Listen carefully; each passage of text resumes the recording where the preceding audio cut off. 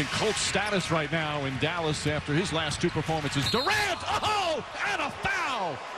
Kevin Durant throws it down, gets hit, and he'll get a chance for a three-point play. My goodness, Kevin Durant off the out-of-bounds play says to Brendan Haywood, excuse me, I got an appointment with the rim. You're in his poster, big fella. That's a seven-footer and a good defender as well. He went right at.